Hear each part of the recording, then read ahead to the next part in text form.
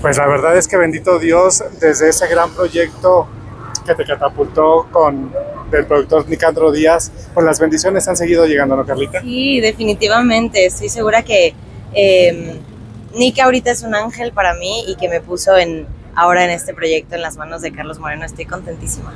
¿Cómo has sentido tu crecimiento, tu evolución? Pues obviamente el que los productores, gracias a tu trabajo, pues se fijen en, en ello, ¿no?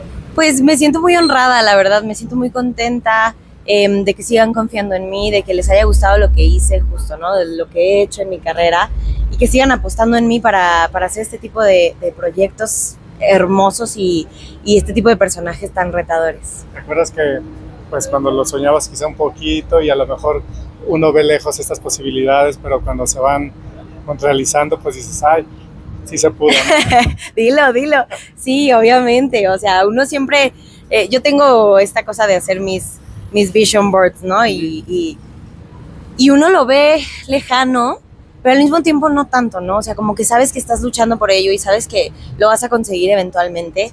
Eh, justo como siempre lo digo y siempre lo voy a decir, me siento muy afortunada de que, de que se me estén dando las cosas de esta manera, pero creo que todo es eh, gracias a mi trabajo y a mi esfuerzo y a, y a que de verdad soy una mujer muy disciplinada y muy entregada a esta, a esta profesión. ¿Cuál es el reto en este, en este nuevo pues, proyecto? Y yo todo.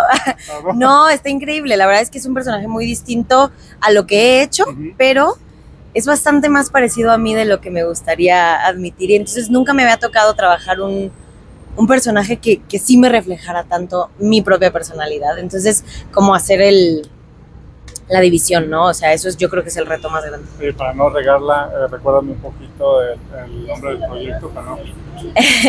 el proyecto se llama Mi amor sin tiempo y mi personaje se llama Fátima. Una mujer, te, yo te veo y te siento y te vibro totalmente diferente. Una mujer totalmente 360. Es totalmente diferente a lo que he hecho, o sea, igual es muy noble, es muy este firme también con lo que piensa y con sus ideales. En eso sí se parece a mis otros personajes, pero viene de otra clase social, este, tiene otro, otra dinámica familiar, o sea, sí es, sí es bastante más diferente. Y con todo respeto te veo mucho más hermosa que antes. Muchas gracias, me, me esfuerzo.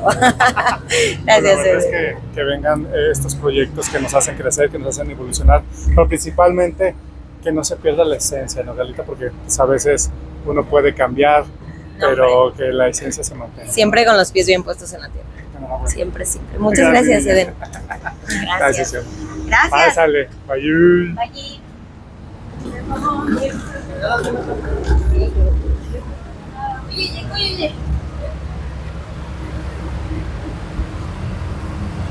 Claro.